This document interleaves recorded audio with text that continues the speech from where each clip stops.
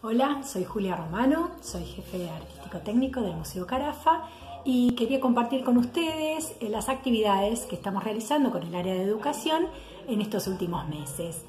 Em, como no podemos visitar el museo personalmente, hemos diseñado algunas eh, propuestas eh, relacionadas con las obras y los artistas y, los temas que ellos trabajan eh, que están exhibidos en las salas para que ustedes los puedan desarrollar en sus casas.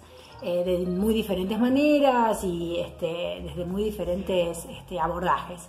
esperamos que las disfruten y bueno, eh, todas las devoluciones eh, son bienvenidas, nos gustaría que puedan compartir lo que hicieron, lo que hacen eh, con nosotros en nuestras redes.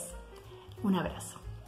Hola a todos y todas, mi nombre es Daniela Di Paoli, trabajo en el área de educación del Museo Carafa y en esta oportunidad estoy aquí eh, para presentarles en el marco de la exposición titulada Resonancias de una variación que el artista argentino Osvaldo Monzo está realizando en el museo, una actividad virtual en formato PDF para que puedan realizar desde sus hogares.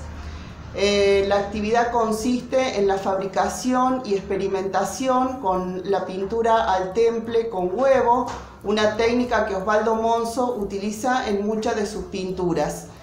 Em, ¿Qué es el temple? Bueno, el temple es una de las técnicas de pintura más antiguas que se conocen, es anterior a la invención de la pintura al óleo y tiene como características que es una pintura de secado muy rápido, que una vez que los colores se secan no cambian con el paso del tiempo y que tiene un acabado semi opaco o semi brillante de acuerdo a cómo quieran verlo.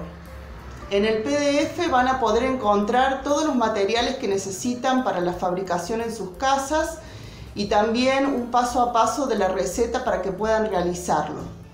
Ante cualquier duda o consulta o si quieren enviarnos sus experimentaciones, pruebas, pinturas, etcétera, lo pueden hacer al mail del área educación del museo que es mec.educación.gmail.com.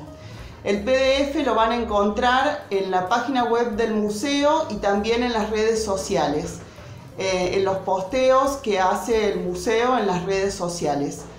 Eh, bueno, esperamos que tengan una buena experiencia con la técnica. Eh, los saludamos cordialmente en estos tiempos de pandemia y agradecemos mucho el contacto.